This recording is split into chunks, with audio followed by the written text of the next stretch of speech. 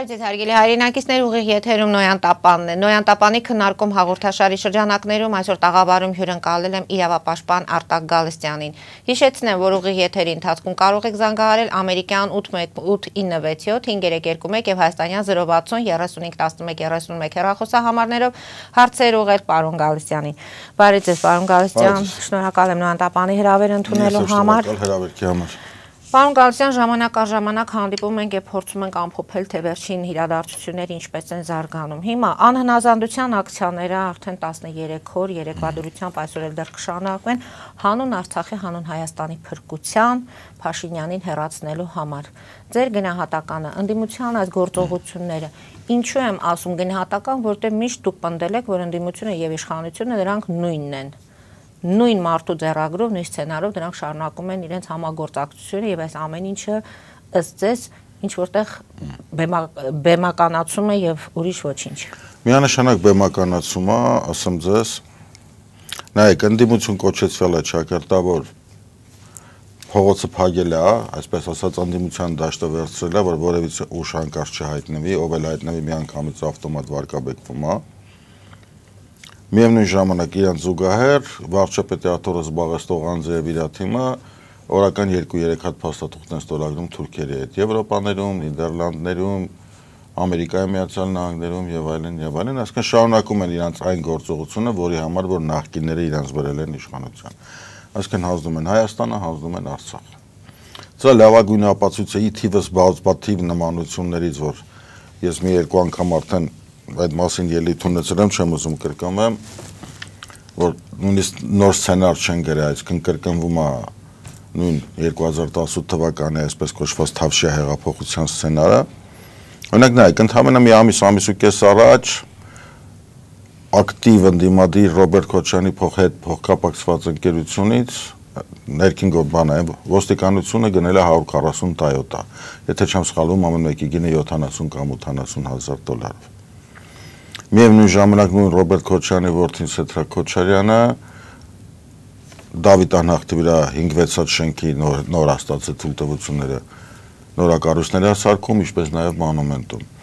Մի քիչ չի նմանվում ընդհանրապես իշխանություն, ընդդիմություն, մեկը մեկի արյունը ուզելու ճակերտավոր գործողությունների մեջ։ Միևնույն ժամանակ, եթե նա հիշում եք, այս այսպես կոչված ընդդիմադիր ցույցերից ընդհանրապես մի 10 օր առաջ 5 դրամով թանկացավ էլեկտրաէներգիան նույն հանգիստողան Կարեն Սամվել Կարապետյանին նույն բաշխի ցանցերի ըստ մամուլում շրջանառվող ակտիվ լուրերի եւ հրապարակված փաստաթղթերի 50% սեփականատերա Սերժ Սարգսյանը։ Այսինքն ստեղ էլ 5 դրամով գինը բարձրացրեցին, որ նույն ժողովրդի հաշվին միտինգները կատարեն, իրենց խապեն։ Դրանից բացի նաև մնացած բոլոր գործողություններն ու գործընթացները ցույց են տալիս, որ այս մարտիկ իրականում իրար հետ բացարձակապես որևէ խնդիր ընդհանրապես իրար հետ չունեն։ 4-ը իրար հետ, 3 իրար հետ, 4-րդի գլխավորությամբ իրականացնում են ընդամենը մեկ ծրագիր։ Հանձնում են Հայաստանը, ընդ որում փաթեթային Ռոբերտ Քոչյանը շատ էր սիրում փաթեթային տարբերակը, ինքը փուլ-փուլ չի սիրել երբևիցե։ Դրա համար հանձնում են ամբողջ փաթեթային, գումարը վերցնում են փաթեթային, հանձնում են Հայաստանն ու Արցախը փաթեթ։ Գումարումից են վերցնում։ Դե պաշտումից նույն Թուրքիան, նույն Ադրբեջանն է։ Վերջերս մամուլում նորից հրապարակումներ եղավ, որ 10 թվականից հետո 211 միլիոն դոլար գումար է փոխանցվել Ադրբեջանից Հայաստանի Հանրապետություն։ Մարի ջան, ոչ մի հասարակ քաղաքացու դա չի փոխանցվում, ա փոխանցվել։ Պարոն Գալստյան, եւ մենք քանի անգամ հարցադրության ժամանակ դուք նշել եք դեռ որ ապրիլի 24-ին պետք էր հեռանա փախներ Փաշինյանը, փաստորեն չստացվեց։ Հիմա ըստ ձեզ երբ է ավարտվելու այս սցենարը, այս կինո երբ է ավարտվելու։ Սցենարը կարծում եմ, եթե մնան միջև վերջ, սցենարը կավարտվի ամբողջովին փաստաթղթերի ամբողջ փաթեթը ստորագրելուց հետո, որից հետո նուստեղ արդեն մի քիչ փախնել չի լի, ուղղակի Հայաստան չի լի եւ գոյություն չունեցող պետությունը վարչապետել բնականաբար չի կարող ունենալ։ Ինչքան այսինքն կհետ այս ակցիաները կլինեն մոտավորապես։ Նույն հարաբերս մի այսպես վարկած է շրջանառվում մեր մեջ, հաշվի առնելով պատմական իրողությունները, Հիմա նայեք, միգուցե քննարկումը նաև այն տարբերակա, որ վարչապետի աթորը զբաղեցնողը անում է ամեն ինչ, այսինքն այն փորձում է իրականացնել նույն սցենարը, ինչ որ իրականացրեց Սերժ Սարգսյանը։ Այսինքն օգնում է այսօր ընդդիմությանը, որտեղ մենք ունենք բավականին նահազանգեր, որ բանի քպական թաղապետերը, մանկապարտեզներ, դպրոցներ, պետական հիմնարկներ ուղղորդում են իրենց աշխատակիցներին ընդཐུպ միջև աշխատանքից հեռանալու սպառնալիքով, որ գնացեք միացեք Քոչյանի միտինգներին։ Թե հակառակ դիմությունն էլ ասում է հակառակը մարդիկ չեն միանում ես, որտեղ իրենց անընդհատ Մեր մտուրումը 3 համայնքից եկել են անձամբ քաղաքացիներ, պոլիկլինիկաներից, թաղապետարներից եւ մանկապարտեզներից զարմացած աշկերտները կլորացրած, բա մեր քպական թաղապետերը քաղաքի Երևանի քաղաքապետարանից մեզ ցույցում են տալիս գնալ միանալ Ռոբերտ Քոչյանի հավաքներին։ Ես դա գիտեմ անմիջական ժողովրդի կողմից ժողովրդի հետ շփվելուց։ Այսինքն այն գործողությունը, որ արեց Սերժ Սարգսյանը այսօրվա այսպես կոչված հեղափոխական իշխանության համար հիմա փորձում է կատարի վարչապետի աթորը զբաղեցնողը, բայց ինչպես իր բոլոր գործողություններում նույնիսկ այս նմանակումը չի կարողանում իր մոտ ստացվի։ Հիմա այդ մարդը մարդու մոտ բնածուն, բնատուր ոչինչ չի ստացվում։ Բայց ամեն դեպքում այս process-ը երբ որ կգա այդ կուլմինացիայի կետի, այդ ժամանակ Նիկոլը հրաժարական կտա։ Բայց քանի որ կուլմինացիոն կետը չի հավաքվում, այսինքն մարդիկ չեն հավաքում։ Հա, էլի չեն կարողանում, որտեղ դիմացի կողմը շատ ադիոզ է եւ ժողովուրդ ամեն դեպքում ատում է։ Հա, նախկիններին ատում է։ Ես կարծում եմ կգնա նույն 44 օրյա սցենարը։ Այ որ մեր գործող իշխանությունը ամեն ինչ անում էր, որ Ադրբեջանը ընդամենը 3-4 օրում Ղարաբաղը վերցնի, բայց մեր 18 տարեկան երեխաների շնորհիվ եւ պայմանագրայինների 44 օր ձգվել, այդ ամեն ինչը ձգվեց, վարչապետի աթորը զբաղեցնողի ներվերը ուղարկի չդիմացավ Ալիևի փնթիության դեմ, գնաց սուսուպստորագրեց սախ տվեց։ Կարող է նաև չեմ բացառում նաև որ լինի այդպիսի սցենար, որ բախումներ կլինեն։ Բացարձակապես ոյցը բախում չլինելու, ասենց ասեմ, այն ինչ որ այսօր կատարվում է, դա կարելի ասել բախումների պիկն է։ Այսինքն հետագան ավելի մեղմ է լինելու։ Միանշանակ։ Մարդիկ իրար հետ խնդիր չունեն, ինչի համար պիտի բախվեն։ Բախվեն ինչ անեն։ Իսկ որտեղ է մնում երրորդ ուժը։ Դե քանի Որտեղ եք մնում դուք, որպես այս ճիշտ Մենք այսօրվա դրությամբ դիտորդի դերում ենք, միակ բանը որ դրական այս ամենի մեջ, ամենամեջի մեջ, որ այս մի արճակատումը, քանի որ նրա մասշտաբները բավականին մեծացել են, հա, երկու ուժերից մեկն ու մեկը հեռանալու է։ Եվ որը կհեռանաց ձեզ։ Սենց ասեմ ձեզ, ամենայն հա, իմ կարծիքով վարչապետի աթորը զբաղեցնելու զբաղեցնողը փորձելու է իշխանությունը փոխանցի նախկիններին, որտեղ դրանք միակն են, որ կարող են նրա անվտանգությունը երաշխավորել, այնպես ինչպես ինքն է երաշխավորել իրենց անվտանգությունը այս 4 տարիների ընթացքում, ինչպես նաև ինչու՞ չէ նաև թալանածը։ Իմ կարծիքը դա է, բայց ցենց ասեմ ձեզ, նույնիսկ եթե հրաժարականա տալիս գործող իշխանությունը եւ այսպես ասած հրավառությունը տեղի ունենում Ռոբերտ Քոչյանի ճամբարում, ելի մենք ենք դառնում երկրորդ ուժը, որ կանանք նախկինների դեմը առնենք։ Եթե լինում է հակառակը, սրանք են ընդհանրապես քաղաքական դաշտից դուրս գալիս, կրկին այսօրվա այսպես կոչված թրքամետ իշխանությանը հերասնողը ելի դառնում է երրորդ ուժը։ Այս պարագայում ցանկացածը որ մտնում է այս խաղի մեջ 5 րոպե 5 վայրկյանում ինքը ընդամենը պիտակավորվում է։ Ամբողջ խաղը հենց դրա համար է դրած եւ 4 տարի այս սև ու սպիտակի բաժանման ամբողջ իմաստն եղել է, կրկնում եմ, Հայաստանի Հանրապետության եւ Արցախի փաթեթային հանձնումն է որը որ փայլուն կերպով իրականացնում են։ Նայեք, եթե ընդդիմությունը իրոք այդ աստիճանի քննադատական ամոտիկանում գործող վարչախմբին, Մեր տրամաբանական հարցը ուզում տան ֆինանսների նախարարության պաշտոնական կայքում հրապարակվել է Հայաստանի արտաքին պարտքը մոտ 19 միլիարդ։ Աճել Սերժ Սարգսյանից հետո մոտ 14 միլիարդ դոլարով։ Ինչն է պատճառը, որ ոչ Ռոբերտ Քոչարյանը, ոչ Սերժ Սարգսյանը ընդհանրապես դրա մասին չեն խոսում որպես քաղաքացի, որպես դάχքին համակարգի աշխատող կարող եմ ասեմ նման դեպքերում մենք նայում ենք, ասում ենք, լավ, եթե սա չի խոսում, ուրեմն մեջը փայա ունեցել։ Դա նշանակում է այդ գումարներից իրանց էլ է հասը։ Հակառակ դեպքում ինչու չեն խոսում։ Սխալ է հարցադրում։ Իսկ ով պետք է ենթարկի պատասխանատվության այդ դեպքում։ Ուրեմն ասում ձեզ, եթե իրազմատ ուղարկի տեղափոխություն լինի, հա, ռակերովկա շախմատի անունով ասելով, շախմատական լեզվով ասելով, ոչ մեկ էլ պատասխանատվություն չի կրի։ Երրորդ ուժը իրանց համար սարսափել է հենց նրանը, որ եթե երրորդ ուժը եկավ իշխանության, ինքը միանգամից մաքուր թերթը դնելու է, երկու կողմն էլ գնալու են գնդակահարության։ Նու չակերտավոր։ Ընդ որում նաև այդ ուժը եթե լինեք դուք Դե որ մենք կլենք կարծում նույնիսկ չքննարկվում մի ամսվա մեջ բոլորի հարցերը կլուծվի։ Այսինքն այդ 1 ժամ 1 ամիսը լրիվ բավարար է, այն որ 4 տարիների ընթացքում նրանք չեն կարողացել ոչինչ փոխել։ Իրենք չեն ուզել։ Եթե ցանկանային կարող էին։ Լավ, հիմա Մեջը որ մենք ասենք դիցուկ օժտված ենք ինչ-որ աստվածային ունակություններով։ Մենք ուղղակի ցանկություն ունենք, իրենք չեն ունեցել։ Պարոն Գալստյան, եթե սրանք իրականում քաղաքական խաղեր են, բեմադրություն է, այդ դեպքում դժում է ժողովուրդը։ Ինչ անել։ Գուցե այդ երրորդ ուժը չպետք է սпасի, թե ժամանակը իր ժամանակը երբ է գալու։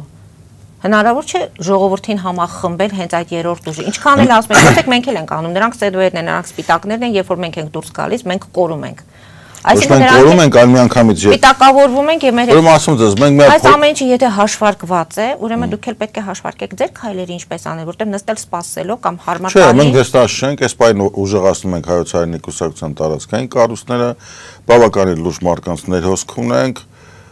եւ դիքայլ գործողությունները լուրջ մարդիկ ասելով ինչի մասն եք խոսում որովհետեւ ընդդիմությունը ասում էր մենք 250 հոգու անուն ազգանուն ունենք արդեն եթե ստացվի մեր հետ վերադարձը, գիտենք ովքեր Ես կարող եմ եւս 500-ի ազգանուն տամ, իրաց նախկին իշխանության։ Նկատի ունենք դրանք պրոֆեսիոնալներ, ինչ որ կենսագրություն ունեցող մարդիկ են, թե մեր ժողովուրդը բավականին կենսագրություններ ունեն, մասնագիտություն ունեն, երբևիցե, որևիցե բանի մեջ էլ առատավորված չեն եղել։ Ինչ վերաբերում անդիմությանը, այդ 250 հոգուն ես կարամ եւս 500 պրոֆեսիոնալ թալանչիների անուն տամ, որ կարան ներգրավել։ Այսինքն ըստ իրանց իրանց նախկին մինիստրները որոնց հանդեպ տարբեր քրեական գործեր նույնիսկ եթե հարեցված հարուցված չի, բայց տեսնում ես մարդը մի կյանք աշխատել է 200.000-ով ունի 8 միլիոն դոլարանոց դղյակ։ Եթե իրենք դες պրոֆեսիոնալ են համարում, ես կարծում եմ ընդդիմության ներուժը ոչ թե 250, այլ 1250 էլ կձգի, բայց հենց նման մարդկանց պատճառով ենք մենք հայտնվել այսօր։ Պարոն Գալստյան, իսկ ինչու հավատալ երրորդ ուժին։ Ինչու հավատալ, որ նրանք էլ իշխանության չեն գալու եւ նույն սցենարը չի կրկնվելու։ Ասեմ ձեզ, այս պարագայում մոռանանք, որ երրորդ ուժին մի ներկայացուցիչ էլ ես եմ, հավատացեք գալու ժամանակը, որ ուղարկի երրորդ ուժը այլ ընտրանք չի ունենալու։ Եվ այդ ժամանակը ժողովուրդն է բերելու ափ հասցնելու դրան։ Ոչ միայն։ Այսինքն առաջնորդները հենց երրորդ ուժի առաջնորդները։ Ահա, իհարկե։ Ու նա ոչ միայն ժողովրդով են գալիս բայց այդ երրորդ ուժի մեջ էլ մենք գիտենք, որ թեկուս կատարաձայնություններ եւ այդ երրորդ ուժերը կարծես թե երբեք չեն կարողանում համախմբվել։ Առանձին, առանձին ամեն մեկ իր ասելիքն ասում է։ Ուրեմն ասում ձեզ ես բազմիցս ասել եմ, որ եւպես երրորդ ուժ Հայաստանի Հանրապետությունում ով բացի հայոց հայրերից կարելի է նշել եւս 1-2 ուժ, սա։ Մնացած ամբողջը կամ Ռոբերտ Քոչյանի պրոյեկտ, պրոյեկտած կուսակցություններն են, կամ նույն իշխանության բուծած 10-12 կուսակցություններն։ Ասենք դիցուկ Արման Բաբաջանյանի կուսակցությունը կարա դիտարկվի երրորդ ուժ։ Էդմոն Բարոկյանը գնահատականն է։ Էդմոն Բարոկյանը կարա դիտարկվի երրորդ ուժ։ Մենք իշխանության կողը կանգնած ամբողջովին նրա այդ կիսող պատասխանատվությունը կիսող կուսակցություններն են։ Եթե հիշում եք 90-ական թվականներին հայոց համազգային շարժումը նույնպես ուներ բազմաթիվ արբանյակ կուսակցություններ, որոնք որ ամեն ինչ կարա դիտարկել իրանց, բայց ոչ որպես երրորդ ուժ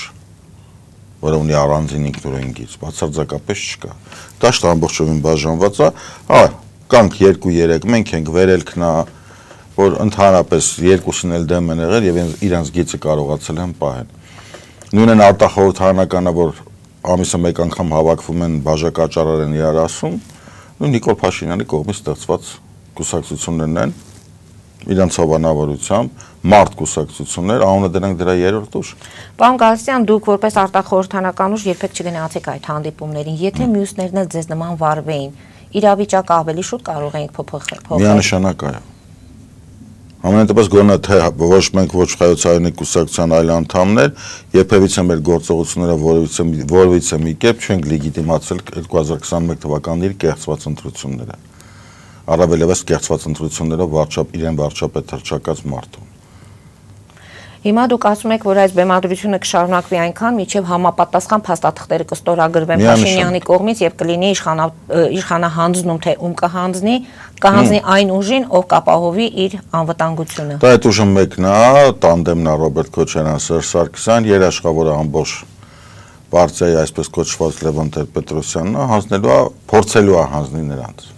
Իսկ այս ընթացքում Արցախի կարգավիճակը ինչ է լինելու, Արցախը հայաթափվելու է թե ոչ։ Դե այսօրվա գործող վարչախումբը անում ամեն ինչ, որ Արցախը հայաթափվի, կարծում դա այնքան ակնհայտ է, որ նույնիսկ կարելի է դիտարկել իրավաբանության լեզվով ասած հանրահայտ փաստերի դաշտին։ Բայց կարծում եմ վերջերս խոսակցություններ գնաց, որ Արցախահայությունը փորձում է քայլեր ձեռնարկել Ռուսաստանի Դաշնությանը միանալու։ Ես մի անգամ ասել եմ, նորից եմ ասում, Արցախցին այսօր իրականացնում է իր կյանքի ապրելու իրավունքը եւ եթե Հայաստանի Հանրապետությունը Արցախահայությանը եւ Արցախը ամբողջովին վաճառում է թուրքերին, որքան էլ ցավալի է դա ասել, ես կարծում եմ, որ Արցախահայությունը իրավասու է եւ իրավունք ունի իր կյանքի ընտրության համար Ռուսաստանին էլ միանալ, Պակիստանին էլ միանալ, միայն թե մնա եւ ապրի իր երկրում եւ լինի ապահով։ Կրկնում Հայաստանի Հանրապետության իշխանությունների կողմից Արցախը ամբողջովին դավաճանվել է։ Պարոն Գալստյան, երատոնի ժամանակ Արցախում այնտեղ մենք տեսանք այդ նկարները, լուսանկարները, որ նախկին խորթային միության դրոշներ եւ դա եղավ մեծ քննադատության թեմա ասացին, որ ռուս խաղապահների կողմից կազմակերպել այդ միջոցառումները երատոնի եւ այլն։ Ուրեմն ինչ վերաբերում է նախկին խորհրդային միության դրոշին, ես համենայն դեպս մի քիչ ունեմ այլ կարծիք։ Չմոռանանք մայիսի 9-ը դա համարվում է ոչ միայն հա- եղել է, դու ասենք հիմա արդեն այլևս հայկական երատոն չի, հա։ Մնացել է նորից նույն հինը երկրորդ համաշխարհային պատերազմի ժամանակ սովետական միության կողմից տարված հաղթանակի տոնն է նույն երկրորդ համաշխարհային պատերազմի ժամանակ մահացել են, զոհվել են մոտ 350.000 հայ մարտիկներ, բոլորը պայքարել են հենց այդ դրոշի դերքով։ Այսքան այդ դրոշը, որ նույն արցախցիները կամ նույն ձևի տարածել էին, ծածանում էին նաև Հայաստանի Հանրապետությունում, ես չեմ դիտարկում, որ դրանով մարդիկ կոչ էին անում, որ սովետական միությունը հետ գա։ Ոչ դա ընդհանրեն հարգանքի թուրքներ այն զոհված հայ մարտիկներին, ովքեր որ այդ դրոշի տակ զոհել են իրանց կյանքը, հանուն իրանց հայրենիքի, ժամանակ մեր հայրենիքը մեծ էր եւ ընդհանուր էր։ Իսկ նոր տեխնացուն վարչապետի դուք ինչ-որ մեկին տեսնում եք լիդերների անուն ամեն դեպքում չի տրվում, բայց որ կողմից ընդդիմության? ընդդիմության կողմից։ Նո ամեն դեպքում շոշափվում է, ես դա վաղուց կհիշեք, մի անգամ ես ձեր տաղավարում եմ ասել, որ ընդդիմության տեխնացուն վերջում բերելու են կանգնացնեն Արման Թաթոյանը։ Բայց Արման Թաթոյանը հերքում է այդ նմանատիպ լուրերը։ Նու հաշվի առնելով, որ Արման Թաթոյանը հերքում է դա Սերժ Սարգսյանի ճամբարից, փորձ ուզում եմ հիշեցնեմ ձեզ 2015 թվականի համանդրական 17 թվականի համանդրական փոփոխությունները, երբ որ Սերժ Սարգսյանը ասում էր, սա փոխում ենք ու ես այլևս չեմ հավակնում։ Վարչապետ լինելու կամ իշխանության գալով։ Այսինքն ցենց ասեմ, ձեզ երկու կողմի ոչ մի բառն էլ արդեն չես ցանկանում։ Հիմա էլ է նրանք խոստանում են, որ եւ վարչապետ չեն լինելու երկուսն է։ Միանշանակ երկուսնից երկուսն էլ խափելու են։ Երբ որ Արտուրը կազատվի, այն հարահայտ ֆիլմ կա Անվոր Սարիվերի ժառուների երրորդ մասը, այն ովա թակավորը, որ երկուսով իրար հետ կռվում էր, կարծում Ռոբերտ Քոչյանի եւ Սերժ Սարգսյանի մոտ լինելու է նույն վիճակը։ Պարոն Գալստյան, այս ընդդիմության ակցիաների մեկ այլ հետաքրքիր կողմը այն է, որ կարծես թե ընտանիքներով են, հայրերով, որդիներով, ընտանիքներով այս շարժմանը։ Ինչի մասին է սա խոսում։ Ուրեմն ասում ձեզ, դա նշի որ նորություն է, այդպես եղել է 18 թվականին, այդպես էր 2003-ին, այդպես էր էլեկտրիկ Երևանի ժամանակ։ Միշտ է տնացիկ,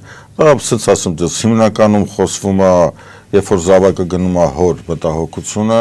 Մայրն էլ մտածում եմ, որ տան երկու տղամարդն են գնացել, ես ավելի շուտ դրա տակ եմ նայում։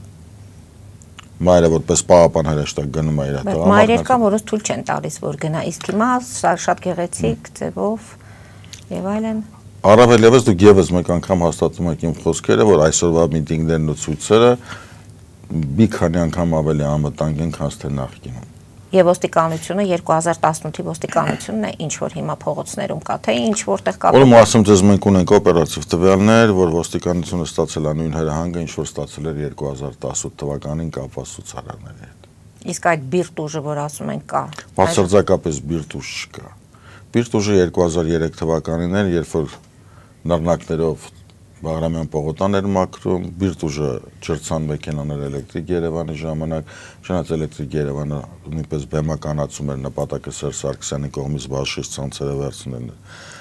Բիրտուժը 96 թվականին էր, հիմա համատեք էս ամբողջ ասածներս դուք Բիրտուժ տենում եք։ Պայմանավորված գործողություններն է է բնականաբար որ Իսկ այս երիտասարդների կալանավորումը եւ այլն այդ պատմություններից բացարձակապես շատ արագ երկուսն էլ թողալվան։ Իսկ կարծում ես երիտասարդների կալանավորումը եւ այլ բանը, որ տեսնելով որ քանի որ որոշակի մասը չեն կարողանում հավաքեն, Կարծում դրանով գոնե փորձում են մարդկանց մոտ զայրույթ առաջացնել, որ գոնե դրա համար հավաքեն, բայց դա էլ չի ստացվում։ Արագացում են այդ կուլմինացիոն կետը։ Բայց էլի չի ստացվելու, որտեղ նորից եմ ասում, հայ ժողովուրդը ատում է եւ Ռոբերտ Քոչարյանին եւ Սերժ Սարգսյանին եւ իրենց շրջապատի բոլոր մարդկանց։ Եթե հիմա չի ստացվում շարժումը ունենա իրենց ուզած ավարտը, այդ մարդիկ նորից պետք է հետ վերադառնան խորհրդարան։ Միանշանակ։ Այսօր է հիշեք։ Իրանք վերադառնալու են խորհրդարան, խորհրդարանով ընտրելու են իրենց վարչապետը, քաղաքացիական պայմանագիրը ձայնա տալու իրենց վարչապետին Նիկոլի գնալուց հետո։ Դա կարող լինի Արման Թաթոյանը, կարող լինի Արտուր Վանեցյանը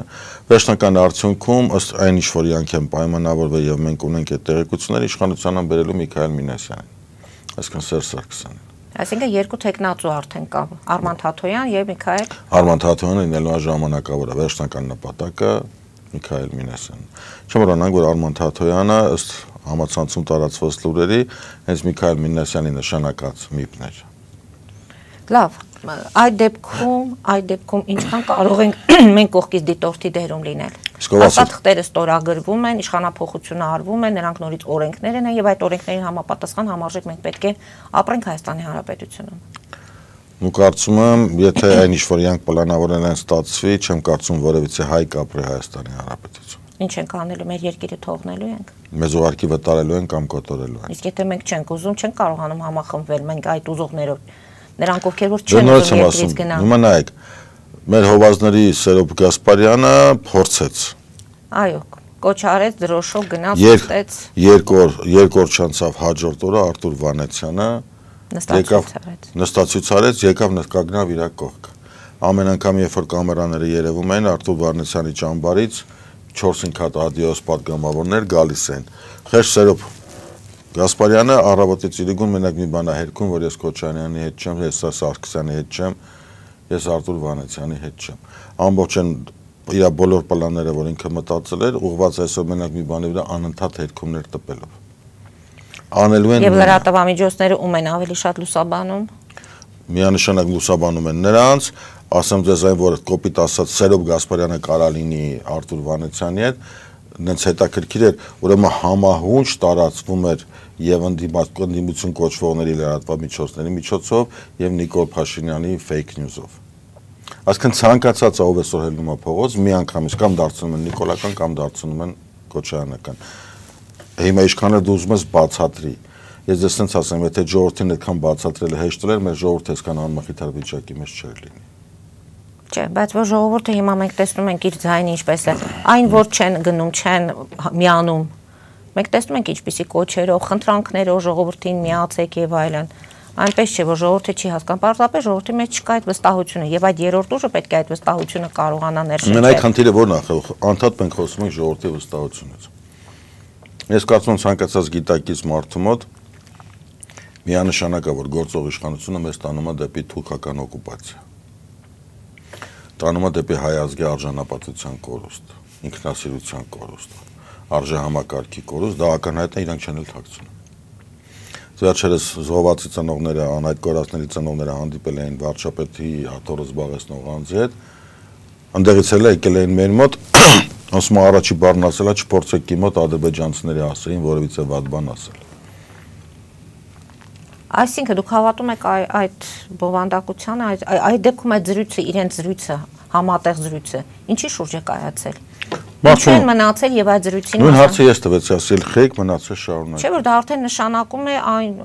կամ նույն ծնողները ինչու են դուրս եկել եւ այլ բան չեն պահանջել։ Չէ՞ նրանք էլ են պայքարի մեջ։ Դե բան է, իրանք ընդամենը մի 15-20 հոգով եկան միացան Սերով Գասպարյանին, 5 րոպե հետո իրանց էլ հայտարարեցին, որ Վանեցյանին են միացել։ Մարդիկ հիմա հոգեբանորեն չեն դիմանում, որպես իրանց չկապեն Վանեցյանի հետ,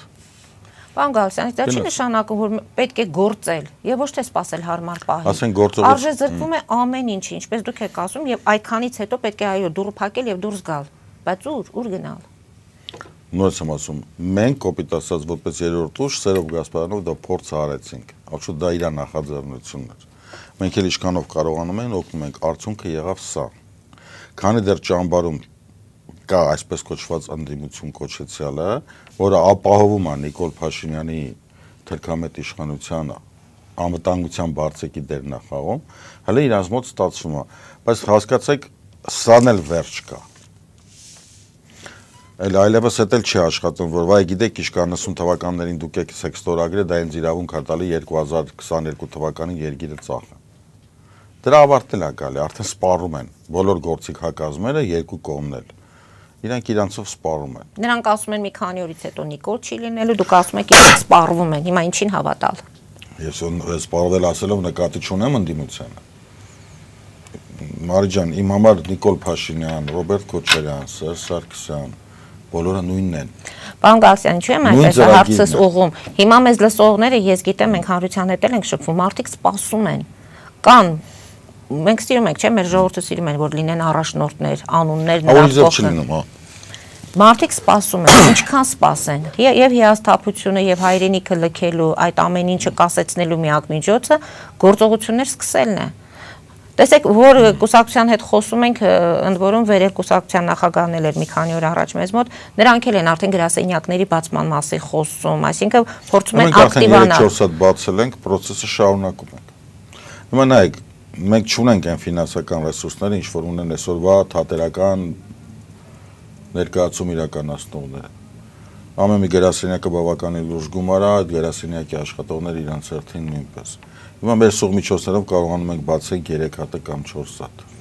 Ցանկություն կար բացելու 50 հատ։ Ու դրան էլ կա։ Իսկ եթե գրասենյակ չեք բացում, այլ ինչ որ միտեղ կանգնում եք, ասում եք ժողովուրդ միացեք մեզ։ Եվ չի ստացվում այդպես։ Ոչ, իհարկե չի ստացվում, որովհետև փորձերը բազմաթիվ են փորձերը բազմաթիվ են ինչու չի ստացվում նորից եմ ասում մարդիկ ասում են վայ ժողովուրդը չի հասկանում հանգիստ թվանք ժողովրդին այսօր դու չեք գտնի Հայաստանի Հանրապետությունում գետ մեկ հոգու որը որ վարկերի տակ չի որը եթե մի շաբաթ ընդամենը կանգնի չաշխատի իր տունը իր ձեռից չեն խլելու չհաշված էս ամբողջ տուգանքային բեռը որ բերել են դրել են մարկանց վրա այսինքն քաղաքացին այսօր ամբողջովին նյութապես հավասարեցված է գետնին որ դրանից բացի բացի իր կենցաղային հարցերը լուծելուց ուրիշ ոչի բանի վիճակի չլինի նույն ժամանակ տրամադրելու։ Պետք է անընդհատ ժողովրդին մեղադրել։ Մենք օրական 20-ից 30-40 հոգի մեր մոտ մարդագալի ես տեսնում եմ մարկանց վիճակը։ 1000 դրամը մարկանց համար փող է։ Այսինքն դուք փողոցային պայքարը Ոչ, այս խնդիրը փողոցային պայքարով չի լուծվելու։ Ես էլ եմ ասում, մեր պլաններով մենք ընդհանրապես կատարելու ենք մի հանրահավաք, հենց այդ նույն օրն էլ վեկալվելու է իշխանություն այս թատերական ներկայացումը որ անում են, նույն սցենարն է, պատկերացնում հասկացեք, նույն չալոնա, նույն տատինա դրոշո, նույն գլխարկները, նույն լոզունգները։ Նույն գլխարկներն է, նույն լոզունգներն է։ Միայն տարբերությունը այն է, որ երկու կողմը մեկը մյուսին թուրք է անվանում։ Այն ժամանակ կարծես թե մեզ համար բան է եղել իսկ հիմա բոլորը բոլորին թուրք են անվանում։ Այս մի կողմ, այս մի կողմին է թուրք ասում, այս մի կողմ, այս մի կողմին է թուրք ասում։ Չմիացող ժողովրդին են թուրք անվանում։ Չմիացողներին ասում են թուրք, այսքան ամբողջ հայ ժողովրդին ասում են թուրք։ Եվ հակոչում առանց թուրքի Հայաստան։ Ասենք սա այն կլասիկ դեպքերից է, որ հայտնի Հայկո Մկոն մի հատ զբաղն են, որ ասում են վիմ վիճակ երկուսն էլ ճիշտ եք։ Իրոք երկուսն էլ ճիշտ են, երկուսն էլ թուրք են։ Գոնե թե իմ համար։ Պարոն Գալստյան, մենք զանգերել ունենք, խոստանանք մեր հերոստադիտողին, հիմա դուրս գանք կարճատև գովազդային դաթարի, որից հետո արդեն կփորձենք պատասխանել նաև մեր հերոստադիտողների զանգերին։ Հարգելի հայրենակիցներ, հետևեք ամիջապես գովազդից հետո կփորձենք նաև պատասխանել ձեր հերախոսազանգերին։ Հիմա կարճատև գովազդային դաթարի եթերում։ Թամարա պաղպաղակ միակ պաղպաղակն է, որ 98 թվականից ներմուծվում է Ամերիկա եւ ունի միջազգային բոլոր պահանջները բավարարող համապատասխան վկայական։ Աշխարհի տարբեր երկրներում լավագույն գնահատականի արժանացած եւ 2016-ի տարվա լավագույն պաղպաղակ։ Բնական, համեղ եւ մատչելի գներով պաղպաղակը կարող եք ձեռք բերել բոլոր հայկական խանութներում։ Պահանջեք հայկական պաղպաղակ։ Թամարա պաղպաղակ եւ օգտակար եղեք ձեր հայրենակիցներին Հայաստանի մեջ։ Ձեր հիշարժան միջոցառումներին եւ խնջույքներին հրամցրեք լավագույնը, հայկականը, վստահություն եւ բնական համ։ Թամարա, վայելեք գերագույն հաճույք։ Հարգելի հայրենակիցներ, նոյանտապանը կրկին եթերում է եւ հիշեցնեմ, որ իմ հյուրն է իրավապաշտպան Արտակ Գալստյանը։ Պարոն Գալստյան, շատ զանգեր ունենք, փորձենք պատասխանել։ Լսում ենք ձեզ։ Դուք եթերում եք, լսում ենք ձեզ։ Լսում ենք։ Ահա, Բարև ձեզ։ Ես մի խոսք ունեմ ասելու, որ այս պարոնը, որ եկել է ձեր հույրն, եւ այն ճիշտ ոչ մի տարբերություն չունի պարոն Փաշինյանի հետ, որովհետև էսի եկել է նախկիններից է խոսում նույն բաները որ պարոն Փաշինյանն էր ասում որ եկավ գործի այս մարդը եկել է պարաքսի ժողովրդին հայ Լավ, հասկանալի է մոտավորապես ձեր պատկերացումը ասելիքը Ընդհանրապես մի բան կարող եմ ասեմ, մարդը պետք է ընկալումներ ունենա հին պապական խոսքը ասում ամեն մար պատասխանատու իր խոսքերի համար ինչ որ ինքը ասում է եւ որից է պատասխանատվություն դի չկրի թե դիմացինը ինչպես է դա հասկանում Մեր թե մեզ ամբողջ խոսալուց մարդը պատկերացնում է որ ես Նիկոլ Փաշինյանի գողքն եմ անում դա արդեն Չէ, բարձրապես նրա նման խոստումներ եք տալիս, հետո կգաք իշխանության եւ այդ խոստումները նման եք խոսում էլի հենց դուք նախքին։ Լավ, ամեն մարդուն իր տեսակետը։ Լսում ենք ձեզ, դուք եթերում եք։ Լսում ենք ձեզ։ Լսում ենք ձեզ։ Բարև ձեզ։ Այո, ես կխնդրեմ իմ խոսքը չկտրել, ես կարճ կխոսեմ։ Կարճ խոսեք, այո։ Պարոն Գալստյանին կասեմ միայն մի բան, պարոն Գալստյան, դուք ձեզ եք երրորդ ուժ, ճիշտ է։ Եթե մի բան կարող եմ իրականությունը ձեր վարդագույն ակնոցները հանեք, իրականությունը հայ ժողովուրդն է ուժը հայ ժողովուրդն է եւ դրա դրա այդ հանգամանքներով մենք հիմա ունենք ժողովրդական այսք դեմոկրատական երկիր հիմա թե դա լավ է թե վատ արդեն դες դուք կիմանաք ես ուղղակի մի բան եմ ուզում ձեզ ասել դուք գովերքում եք սովետական դրոշները գովերքում եք նրանց արակներ նրանց արակները հետո համեմատում եք որ երկու այսպես ուժերն էլ նույնն են եւ այլ այս թույլատությունները նայեք ժողովուրդը པարս տեսնում է ով ինչ է արել եւ ով ինչ է անում եւ այս ժողովուրդը համազգայնորեն ոչ թե միայն Հայաստանում եւ ամբողջ Սփյուռքով ընտրել այս կառավարությունը եւ պիտի սпасել եւ տեսնել ինչ են անում մենք արդեն բոլոր գործողությունները պաստեցնում ենք բավական է դուք համեմատեք մեր ընտրած բոլոր հայ ժողովրդի ընտրած ժողովրդական կառավարության վարչապետին Թուրքի հետ լավ հասկանալի է Ամ մի քիչ համաձայն չեմ մեր բանի հետ մեր հերոստատիտողի հերոստատիտողի հետ ամբողջ հայ ժողովուրդը այսօրվա գործող իշխանությանը գոնե թե հունիսյան 21 թվականի ընտրություններին չի ընտրել, մաքսիմալ հավաքած ձայներն եղել է 15%, մնացածը արկղները փոխեցին, ընտրությունները կեղծեցին, երեքով իրար այդ պայմանավորված իրանց տոկոսները գրեցին, հենց այդ պատճառով էլ հիմա Հայաստանի Հանրապետության ընտրությունների գործը գտնվում է Եվրոդատարանում ինչ վերաբերում է սովետական դրոշներ գովերքելու, նորից ունենք նույն խնդիրը, ինչ որ նոր ասեցի։ Որևիցե մեկը լսեց, որ ես սովետական դրոշ եմ գովերքում։ Ես ընդհանրապես ասացի, որ իմ համար սովետական միության դրոշը մայիսի 9-ի դրությամբ դա այն հաղթանական դրոշն է, որով որ մեր պապերը ձեռքներին գնացել են գրավել են Բերլինը սովետական միության մասին բացարձակապես որից խոս չեմ ասա, դե տնամաբանական է, որ նման ինտելեկտ ունեցող մարդիկ էլ հենց նման Նիկոլ Փաշինյանին համարեն ազգընտիր, որը որ ամեն ինչ արել է։ Այո, տարբերությունները շատ են։ Մենք էլ ենք տենում դա այսպես կոչված նախկին Հայաստանի եւ ներկա Հայաստանի միջև տարբերությունը, դա ավելացած Եղաբլուրն է, դա կորցված Արցախն է, դա այսօր հարվածի տակ գտնվող Քյարքին է, անկլավներն են, Հայաստանի անմխիթար տնտեսական վիճակն է, իրոք տարբերություն կա, չնկատել չենք կարող մենք հարգում ենք բոլոր նրանց, ովքեր ընտրել են Նիկոլ Փաշինյանին, բայց եթե հիմա եկել է ժամանակը նորից ընտրելու կամ հաստատվելու, չգիտես ինչ, եթե քաղաքական իրավիճակը կտանի դրան, ամեն մարդ ունի նորից ընտրելու իրավունքը։ Միանշանակ մենակ կարևորը թուրքերին չընտրեն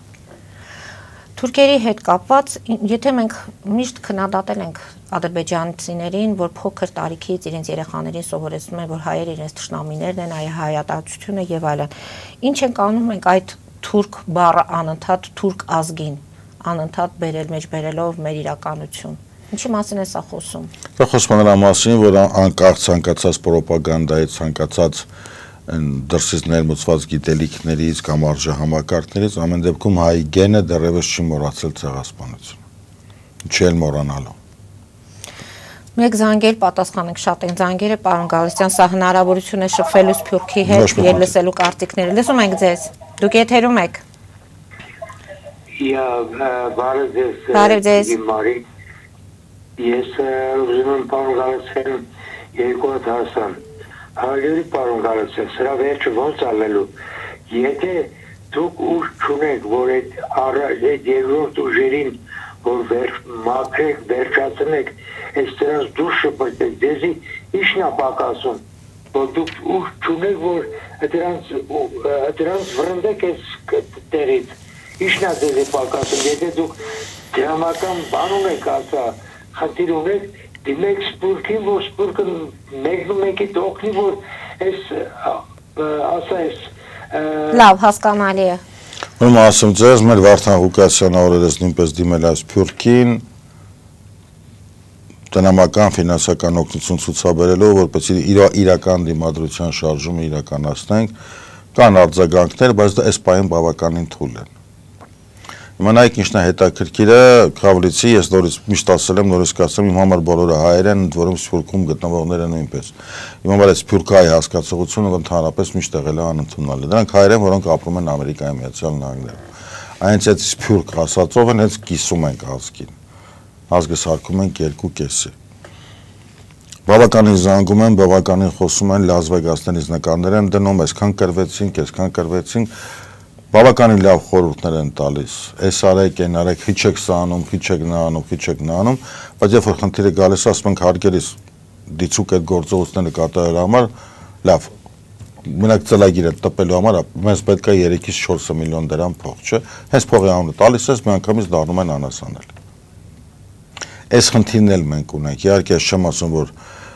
մեր հայրենակիցները, որոնք ապրում են արտերկրում, պարտավոր են մեզ օգնելու։ Քավլիցի մենք նման բան բացարձակապես չենք ասում։ Իրանց մոտ այդ պարտավորությունը կառաջանում ամենակեն ժամանակ, երբ որ իրանք ամեն գիշերը ժամը 1-ին, 2-ին, 3-ին զանգում են եւ իրանց իրավունք են վերապահում մեզ խորհուրդներ տալու թե մենք ինչ անենք։ Եթե դու որոշել ես, որ դու զբաղվես գիշերը ժամը 3-ին Հայաստանի Հանրապետության փրկության հարցով, բարի եղե թե անձամբ չես կարողանում մասնակցես, գոնե որևիցե ֆինանսավորում տվեք այն ուժին, որին որ դուք վստահում եք։ Պարոն Գալստյան 2018-ին Փաշինյանը առանց ֆինանսավորման կարողացավ այս ամենը կատարել, որտեվ ընդհանրեն իշխանության հանձնում էր ուրեմն ոչ միայն ընդդիմության հանձնում էր, այլ ասեմ ձեզ Փաշինյանի 2018 թվականի ընտրության հեղափոխության ընդհանուր գինը կազմում է 1.5 միլիարդ դոլար, ինչ մասին է խոսքը այն որ մարդիկ հենց մեքենաներից դուրս էին գալիս միանում էին ցուցարարներին եւ այլ այդ Չէ, դա դա վերջնական արարին եք դուք երբ որ արդեն massայական ողջավորության ալիքներ գնաց է ամբողջ process-ը նստել է 1.5 միլիարդ դոլար ամենայն դեպս այդպեսին են հրաապարակումները այդպեսին նախքին իշխանության հատուկ ծառայեկիցների ելույթները նաև մեջից ներքին ինֆորմացիա ունենք, մի քիչ ճիշտ ասած ավելի քիչ թվերով, բայց որ ընդհանրապես անվճար ա եղել նման բան գոյություն։ Հիմա էլ են ինչ որ թվերի մասին խոսում կան։ Ունեք դուք նման դեպքեր ձեզ մոտ արձանագրել։ Հիմա մենք ունենք փաստեր մի քանի հոգի եկել են մեր մոտ, որ դիցուկ իրանց գումար են տալիս, որպեսզի հելնեն փողոց։ Մենք ուղղաշատ իրաց լսում ենք, ասում ենք հիմա եթե տալիս են, դու պետք է վերցնես գնաս քայլես, հետո գազ մեզ ասես մեզ փող են տալի, նույնիսկ գալիս են ասում են գնացել են քայլենք փողը չեն տալի բայց չեմ կարող ասել թե ինչքանով ասա կազմակերպած ամեն դեպքում ես գտնում եմ եթե ինչ որ մեկը պիտի փողով գնա եւս մի անգամ հաստատվում է իմ խոսքերը որ այսինքն նույնիսկ այս ընդդիմության հավաքած 8 կամ 10 կամ 5000 մարդն էլ դրանցից ժողով այդպես կոչված ժողովուրդ ժողովուրդ ժողովրդական մասան նշի որ հելը հանուն պետության կամ հանուն Արցախ ինքը ուղղակի գնում է աշխատանքի Սա գիտի իշխանությունը, սա գիտի ընդդիմությունը։ Եվս մի ապացույց, որ սա հանդիսատեսի թատրոնն է, մասովկեն են ապահում թատերական ներկայացման։ Գիշեք մասովկայի անդամներին տալիս էին 5000 ռուբլի այն ժամանակ, 5000 դրամ։ Այդ նույն մասովկեն են ապահովում եւ ապահովում են երկու ստեկ։ Պարոն Գալստյան, երեք Արթուր Բանեցյանը չէր մասնակցում ընդդիմության այդ շարժմանը եւ եղան տեսակետներ, կարծիքներ, բայց հայտարարեցին, որ նա բազապես հիվանդ է դրա համար չի մասնակցում։ Դե մեր Վարդան Ղուկասյանը կարծում եմ Մարտուր Վանեցյանին կոնկրետ զգուշացրել է։ Եթե եթե զգուշացումներով ստացվում է Բախտը փորձի գնա տուն դուսարի պայքարից։ Հիմա տեսնենք։ Սպասենք, տեսնենք ինչ կլինի։ Զանգերը շատ են, նորից փորձենք զանգ ընդունել։ Լսում ենք ձեզ, դուք եթերում եք։ Ալո։ Լսում ենք ձեզ։ Բարև ձեզ։ Բարև ձեզ։ Բարև ձեզ։ Լսում ենք ձեզ։ Հա, Ուրեմն ես պարոն Գալստյանն եմ ուզում դիմեմ։ Ժամանակին առաջի հարցը ասեմ որ ադրբեջանցիները ընդհանրապես հիմա բան որտեղ որ ադրբեջանցի է բնակվում Մենք լսում ենք ձեզ։ Ամբողջ Հայաստանի, հա, ամբողջ Հայաստանի տերիտորիայում նրանք ասում են դրանք այդ տարածքը մերն է բայց որտեղ հայեր են բնակվել Ադրբեջանում դա ուն տարածքն է։ Ինչու մերոնք չեն ասում, դա էլ մեր տարածքն է։ Բաքուն է, Կիրովատն է, եւ այլն, եւ այլն, եւ այլն։ Հետո, էսի առաջի հարցը։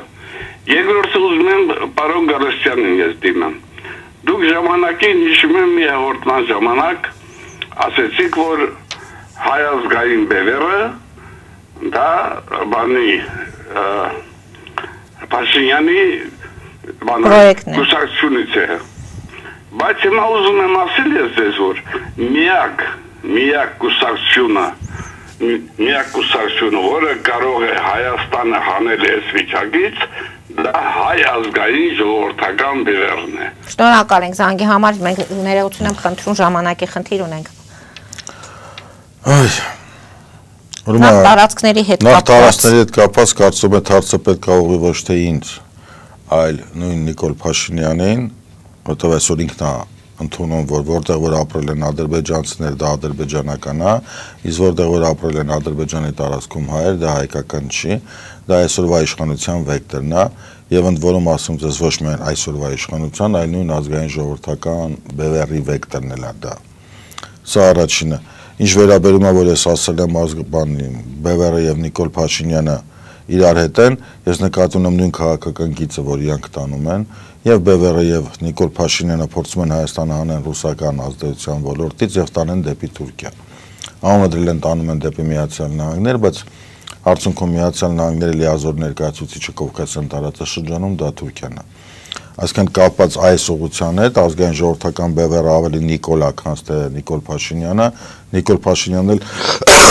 ավելի Ժիրայր Սեֆիլյանը, քան Ժիրայր Սեֆիլյանը։ Պարոն Գասյան, երբևիցե փորձել եք այդ երկու ուժերով նստել կլոր սեղանի շուրջ ինչ որ հարցեր Ասենք քննարկել։ նստեմ ես կլոր սեղանի շուրջ իրանց հետ ի՞նչն է կարան, թե Երևանը դիցու քանի միլիարդով ենք ծախում։ Ես ան նույն բանն է, որ երրորդ ուժերը այսպես չեն հավաքվում։ Բոլորը ունեք բոլորի մոտ հայրենիքի նկատմամբ այդ մտահոգությունն է հայրենիք Արցախը Մարի ջան, փրկելու։ սիրելիս, ես ԱԺԲ-ին երրորդ ուժ չեմ համարում։ Նիկոլ Փաշինյանին երրորդ ուժ չեմ համարում, ընդհակառակը համարում եմ պատասխանատուն այս ամեն ինչի։ Նույն հիմա ես չեմ ուզում ընկնեմ բամբասանքների գիրկը կամ մտնեմ պալիկի Իսկ պատրաստ եք բանավեճի միանշանակ դեմ բոլորը։ դիմաց։ Բացարձակապես Եթե մեր ցանկացած։ տաղավարում փորձենք թեկուզ չունենք, կազմակերպել, որտեղ ցանկացած մենք ամեն անգամ նկատում ենք, որ ձեր հաղորդումների ժամանակ հենց Մի- Միացյալ Նահանգներից այդ զանգերը ստանում ենք Ցանկացած ԱԺԲ-ի հետ պատրաստ եմ նույն ԱԺԲ-ի հետ, մանավանդ Ժիրար Սեֆիլյանի եւ Վարուժան Ավետիսյանի հետ միասին կալանք ենք նստել, շատ մեծ հաճույքով կբանավիճեմ։ Այնպես որ մենք փորձենք մյուս կողմին հարցադրել։ գործող ամբողջ քաղաքական սպեկտրում գոնե թե այն կուսակցությունները, որոնք որ մասնակցել են վերջի ընտրություններին, հա,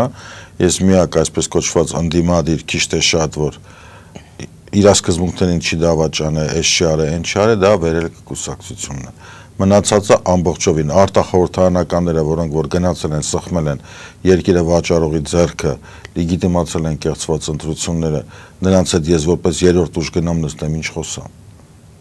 Այդ նույնն է ոնց որ ասենք մենք կանգնենք հայտարարենք, որ մենք գիտեք իշկա Հիտլերի հետ ընդհանուր ոչ մի բան չունենք, բայց Գեբելսի կամ Գերմանի հետ, Բորմանի հետ կարող են գնանք նստենք բանավիճենք։ Հիմա փաստորեն ժողովուրդն էլ է կանգնած ընտրության արչև ում յետևից գնալ, ում հավատալ, ում վստահել։ Ես հույս ունեմ այն ծրագրերը, որ մենք ունենք հայոց հայրենիքով, շատ արագ կիրականանան, ժողովուրդն էլ կկատարի իր ընտրությունը։ Այո, մենք էլ ենք միավորման գնում, այսօր բավականին ուժեր ունենք ճանաչված հասարակական դեմքերից, որոնք արդեն միավորվում են, շուտով կլինի նաև կարծում եմ կուսակցական որոշակի դաշինք։ Փորձենք մի զանգել պատասխանել։ Լսում ենք ձեզ, դուք եթերում եք։ Լսում ենք ձեզ։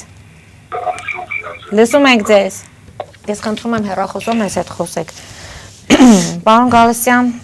կարծես թե կարողացանք այսօր ձեր հասելիքը հասցնել հանրությանը, խոսել ամեն ինչից։ Ես կուզեի անդրադառնանք նաև մայիսի 11-ին մենք ժամկետային զինծառայող ունեցանք, որին հետո կարծես թե հայտարարեցին ինքնասպանություն գործած ժամկետային զինծառայող։ Մեկ, բայց ինչ եմ ասում ձեզ։ Գործող իշխանություն, նախկին իշխանություն սցենարը փոխված չի։ Նույնիսկ բանակում միայն նույնիսկ բանակում միայն ինքնասպանությունները։ Նույն սցենարն է, նույն քրեական գործերով նույն սցենարն է։ Ուղղակի ավելի աղավաղված։ Ամեն դեպքում մենք ընդունենք, որ նախկին իշխանությունը գոնե մի քիչ բծախնդիր էր։ Այսինքն, էլի էշի տեղ էին դնում ժողովրդին, բայց ոչ էս աստիճան։ Այսինքն, գոնե սցենարը նենց էին սարքում, որ ասենք դիմացողանը նայում էր, ասում էր լավ գոնե մի 30% կարող այլ եւ իրոք ինքնասպանություն լինի։ Այս սրանք իսրանք իրանց նեղ ուղղային մակարդակով, իրանց դեբիլությամբ հա կներեք այս արտահայտության համար։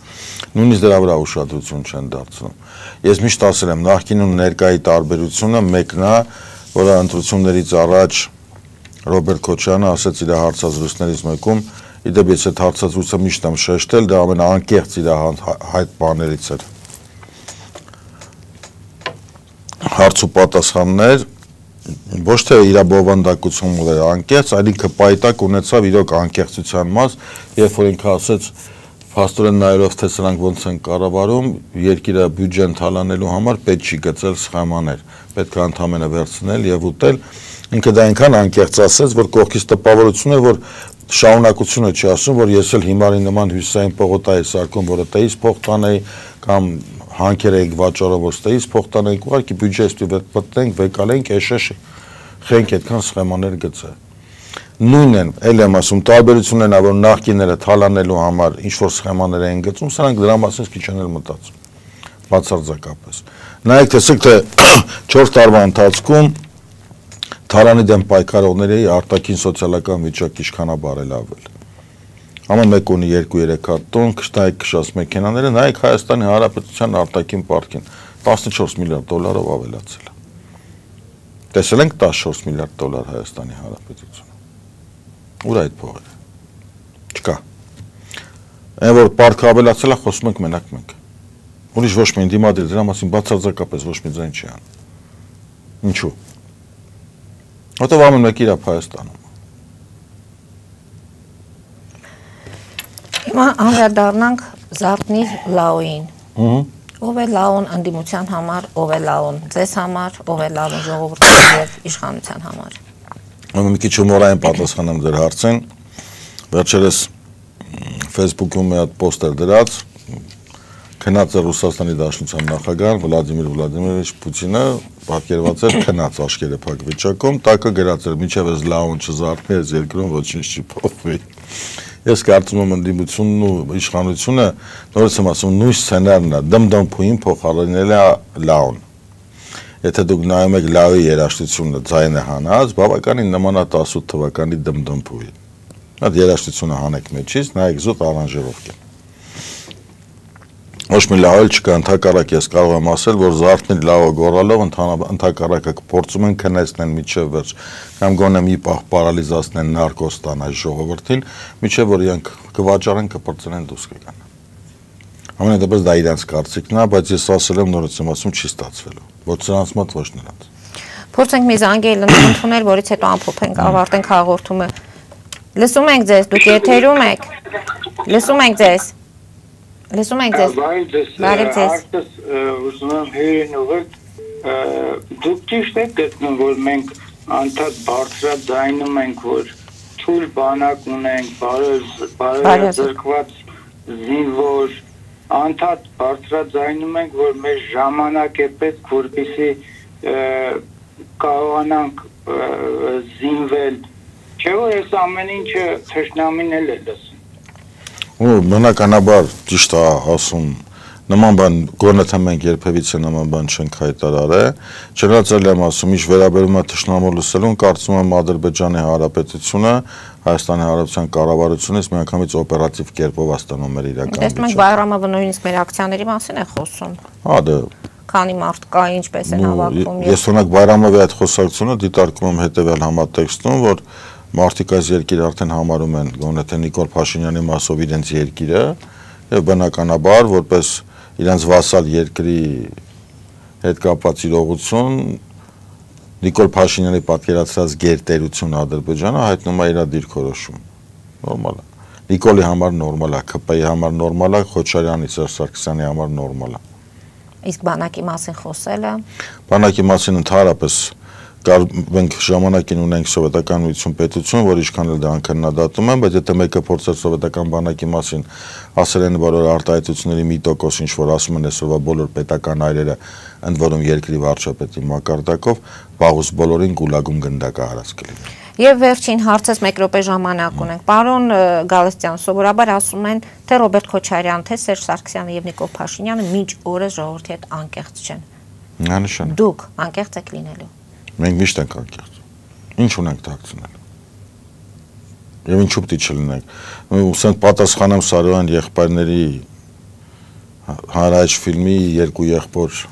բանից, որ որ փոքր եղբորա մեծը ասում է, ասում է քեզ ինչ կա, դու պապ չես սپانա։